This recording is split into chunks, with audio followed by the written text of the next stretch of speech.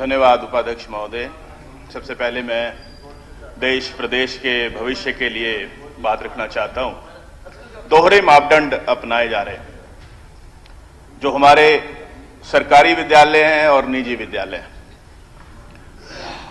आज हालात ये हो रहे हैं कि जो हमारे निजी विद्यालयों में विद्यार्थी पढ़ रहे हैं, जो स्थायी मान्यता प्राप्त नहीं है, उन विद्यार्थियों को मजबूर किया जा रहा है कि वो प्राइवेट फॉर्म भरें। स्कूल के माध्यम से जब उनका फॉर्म आ रहा है, हरियाणा बोर्ड में पेपर देने के लिए, वो नहीं लिए जा रहे। सर, उनका क्या कसूर है? मानदंड, मापदंड तो एक से होने चाहिए, चाहे वो सरकारी विद्यालय है, चाहे निजी विद्यालय है। बहुत से हमारे सरकारी विद्यालय हैं, जहाँ क्लासरूम पूरे नहीं जहाँ डेस्क पूरे नहीं है, जहाँ शिक्षक पूरे नहीं है। तो केवल निजी स्कूलों को ही, निजी विद्यालयों को ही और उनमें पढ़ रहे विद्यार्थियों को क्यों प्रताड़ित किया जा रहा है?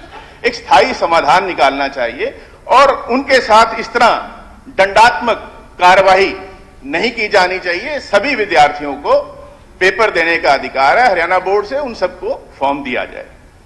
सर, मेरे विधानसभा क्षेत्र में बहुत से गाँव ऐसे हैं जहाँ जैसे अभी जल भराव की बात हुई। यूँ डार्क जोन है, लेकिन जब अत्यधिक बारिश हो जाती, बहुत से गाँवों का पानी एक एक गाँव में इकट्ठा हो जाता है। वो चाहे हमारे घेलड़ी है, हेमा माजरा है, तंदवाल है, तंदवाली है, बाबा हेड़ी है, सुहाता है, हल्दरी है।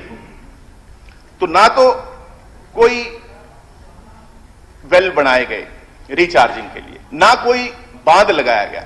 और जिसके कारण से फ़सलों का तो नुकसान होता ही साथ साथ जो है, जान माल का भी नुकसान होता है, जिसका कि कोई स्थायी समाधान जल्द से जल्द किया जाना चाहिए। सड़कों की बात आई, सर। ये लगभग सभी क्षेत्रों में एक सी है। बात आती है कि जी 25 करोड़ रुपए हर विधायक के कहने पर सड़कें रिपेयर होंगी। सर, सड़कें या तो पीडब्ल्यूडी की हैं, या हमारे इसकी मार्केटिंग बोर्ड की। सर, वो सड़कें तो प्रदेश की हैं। वो एक करोड़ में ठीक होती हो, सर रिपेयर होती हो, एक करोड़ में करा दें। वो पच्चीस में होती हो, सर, पच्चीस में करा दें। हमें तो प्रदेशवासियों के लिए वो सड़कें ठीक चाहिए। जब सड़कें हैं ही प्रदेश की तो उस पर ये एक लगाना कि 25 करोड़ की ही सड़कें ठीक होंगी या 5 करोड़ की ही होंगी सर जितने की होंगी। आपसे पैरिटी महँगी है वो तो। सर मैं तो ये कह रहा हूँ ना करें तो सही जितने भी हैं सबकी करें। सर सबसे ज़्यादा पैसा आज जो खर्च होता है जो सबसे छोटी सरकार है वहाँ पर खर्च होता है चाहे वो हमारी पंचायतें हैं चाहे म्यूनिसिपल कमेटीज हैं। और बड़ी हैरानी की बात है कि उनको सीएजी के परव्यू से सर बाहर रखा हुआ। ऐसा नहीं होना चाहिए। उनका हर साल ऑडिट जो है सीएजी के द्वारा कराया जाना चाहिए। सबसे ज़्यादा पैसे का दुरुपयोग वहाँ पे हो रहा है। इसलिए, सर, हमारे यहाँ बराड़ा म्यूनिसिपल कमेटी है।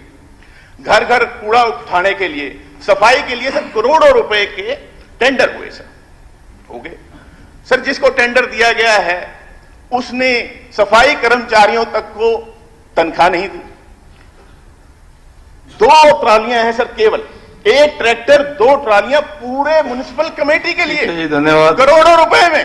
तो सर मैं तो मांग करता हूँ कि विजिलेंस इंक्वायरी होनी चाहिए। दूध का दूध और पानी का पानी हो।